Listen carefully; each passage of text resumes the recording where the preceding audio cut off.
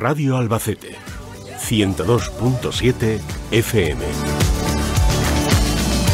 Bueno, pues les hablamos de una cita. La cita la tenemos hoy, jueves 5 de octubre, a las 7 de la tarde en la Librería Popular, en Octavio Cuartero 17. Y dirán, ¿qué cita tenemos? Pues la presentación del libro La reunión de los llanos, Albacete capital de la Segunda República. Les hablamos de uno de los episodios que sin duda tuvo mayor relevancia, donde comienza a bajarse un poquito el telón de la guerra civil. Vamos a hablar con su autor, Deogracias Carrión. ¿Qué tal? Muy buenas. Muy buenos días. Bueno, esta tarde ya tenemos esa puesta de largo de un libro que, recoge pues parte de nuestra historia. Como buen doctor en geografía, historiador e, investigador que es usted, pues ha querido plasmar en ese libro que Albacete ha formado parte de la historia y, ocupando un papel relevante, ¿verdad? Pues así es. Albacete, eh, no en vano, fue la, a finales de la guerra en concreto en febrero del año 39, eh, pues fue esa, esa capital, esa capital de la República por varias razones. Porque Albacete eh, fue centro de organización de las brigadas mixtas, fue centro de formación de oficiales y suboficiales, fue la sede de la tercera región aérea de la República, fue la sede del Estado Mayor de los consejeros de tierra, fue la sede de los comisarios políticos de las Fuerzas Armadas, fue sede de la UGT, del PSOE, más las reuniones que se celebraban aquí, bueno, un sinfín de, de eventos y de acontecimientos que tuvieron lugar en nuestra provincia y que desgraciadamente pues, pues han pasado desapercibidos. Fíjate, ¿y por qué se conoce tan poco de esta parte de la historia? Pues se conoce tan poco mm, por varias razones. En primer lugar, porque es ya al final de la guerra. Eh, y ya pues los medios y de comunicación son escasos. Porque no se celebra en una capital grande, por ejemplo, un Madrid o un Valencia que se podía haber celebrado. Entonces seguro que había tenido mucho más publicidad. Porque, y se conoce poco porque el sitio fue un sitio recóndito, eh, fue la finca de los llanos. Eh. Por otra parte, se conoce poco porque, a pesar de que son varios los historiadores que hemos intentado buscar las actas, no existen las actas y porque se juramentaron no decir nada. En realidad la reunión es secreta. ¿eh? Ah. Por todas esas razones, pues ha pasado en gran parte desapercibida. Y de una reunión secreta de gracias tienes muchísimo contenido. Lo primero que a mí me gustaría saber, ¿por qué Albacete? ¿Albacete era un punto estratégico ya en aquel entonces? Sí, pues era, por, como he comentado antes, la cantidad de sedes y organismos oficiales que había aquí. Ah. Y luego el sitio de los llanos era un sitio ya conocido por algunos de los militares que, que, están en esta reunión, que el día 8 también estuvieron ahí, la mayoría.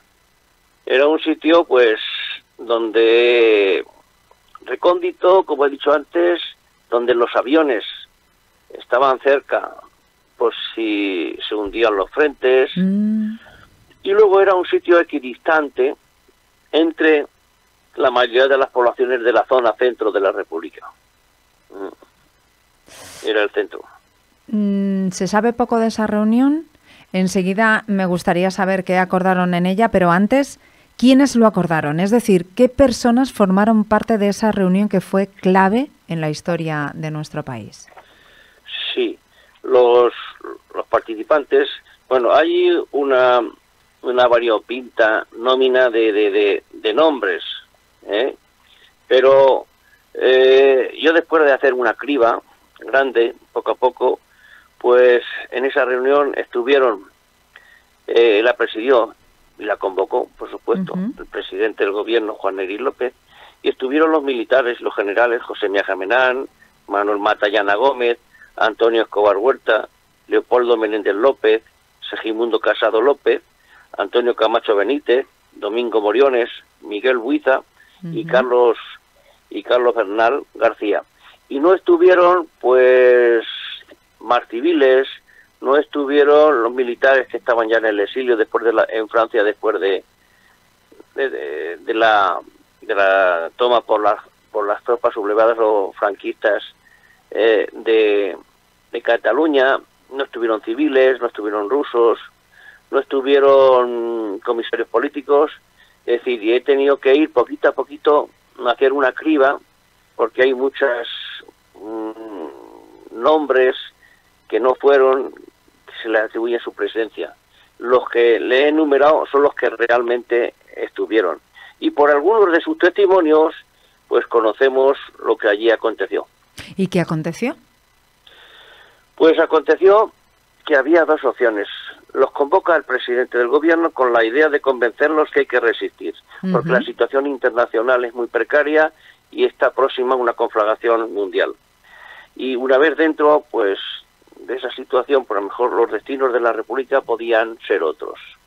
Y por otra parte, los militares, la inmensa mayoría, eh, casi todos, con la excepción de José Miaja, Menán, pues eh, estuvieron eh, a favor de que se terminara la guerra de que se entrara en un periodo de negociaciones y se terminara la guerra, porque la situación era muy precaria, el coste iba a ser de unos 70, 80 mil hombres y no había necesidad puesto que la guerra estaba perdida. Y esa pues fue, pues, y entonces, pues el resultado de la misma es que estos militares desautorizan a Juan Negrín López, es decir, no avalan su proyecto de resistencia. Y pues de ahí, desde Albacete ya, pues Juan Egui López se va a Elda, luego a Monóvar y de ahí al exilio. Y los militares, sobre todo casados, entran en contacto con, con las fuerzas franquistas, ¿eh? con el consentimiento de, Julián Besteiro. Y ya se intenta buscar una solución pacífica para terminar la guerra. O sea que aquí, eh, en Albacete, se decidió el fin de la guerra civil. Pues sí, así es. Primero, una de las consecuencias de esta, de la trascendencia de esta, de esta reunión es que se desactivan ya los, se desactivan los, los frentes y eh, acaba de, el día 9 había terminado ya la ofensiva de Peñarroya, sobre Peñarroya de la República y con un desastre y convirtiendo en Albacete en un gran hospital, con lo que cogió la mayoría de los heridos. Fíjate. Y eh, el general Franco, que tenía previsto hacer una ofensiva y terminó la guerra cuanto antes, se espera porque está en negociaciones y prefiere, pues, ganar la guerra sin que sin gastar llamadas y sin perder más vidas. Y esa es otra de las razones de, que termina aquí la guerra. De hecho, en el momento que los militares desautorizan al presidente del gobierno y están de acuerdo con, con llegar a, un entendimiento con las tropas sublevadas o franquistas, la guerra termina. Y la guerra, por lo menos, será por pérdida. Y luego, pues, a continuación, mm, eso trasciende. Trasciende, por ejemplo, al cuartel general de Burgos, donde Franco sabe lo que ha ocurrido al día siguiente se le comunica mm. todo lo que ha ocurrido y saben que los militares eh, ya no quieren proseguir la guerra. Claro, y una segundo, cosa segundo las se conoce en todas las cancillerías de, Europa y parte de América. Por ejemplo, de esta reunión mm, llegan las noticias a, las embajadas y cancillerías de Francia, de Inglaterra, de Alemania, de Estados Unidos. Mm. Y todos estos gobiernos ya pues se preparan para entrar en contacto ya con, con el régimen de General Franco y le quitan su apoyo a la República. Y luego por aquí, y luego también por la noche, termina esa reunión, también sabe Azaña, el presidente Azaña que está eh, exiliado voluntariamente en la Embajada de París, Así es. pues, eh, y que es partidario de y entiende que la guerra está perdida y es partidario de la opinión de los militares. ¿De gracias? Vaya, nos vamos a quedar sin saber exactamente la fecha en la que se pone fin a la ahora. Es que no te oíamos y yo me he quedado con las ganas de saber ¿Cuándo se hace esa reunión en fecha, me refiero? ¿Y cuál es la fecha, del fin de la guerra civil? Es decir, ¿se decide y cuándo termina? El día 16 de febrero. En Albacete hay muchas reuniones, pero esa es la decisiva. La, ¿Y, cuándo termina la guerra civil? ¿Al día siguiente o, pasan unos días? No, no, no, la guerra civil termina en Albacete, por ejemplo, el día 29. De febrero. Vienen unas tropas italianas y toman Albacete. Y el día 31 llegan ya al Mediterráneo. Y el día 1, pues, de abril, se termina la guerra. Claro, no fue, no fue inmediata, fue con, un, con un tiempo, claro. Claro, aquí lo que ocurre es que se ponen, por así decir, las fases y se toman los acuerdos. Luego pasa un tiempo que son de negociaciones, de impas, que son unos días. ¿eh? Oye, Diego, gracias, que me encanta La, mm, la, historia y sobre todo que Albacete haya tenido ese protagonismo y que lo hayas recogido en este libro. Que esta pues tarde a las 7 tenemos esa cita contigo en Librería Popular. Gracias.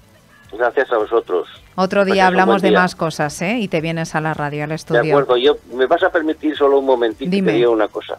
Era una frase de Azorín. A ver. Refiriéndose a los albaceteños, que decía, poseéis la más alta de las humildades, pues siéndolo todo, os creéis nada. Es decir, ya es hora que vayamos ya recuperando nuestras propias señales de identidad, como tanta gente. Siéndolo todos no es más o menos, pero que sea modesta, pero es nuestra historia y también tenemos algo que decir. Vaya que sí. Oye, que me ha encantado ¿eh? la frase de Azorín, me la voy a me la voy a quedar. Gracias, de Gracio, siempre es un placer hablar contigo.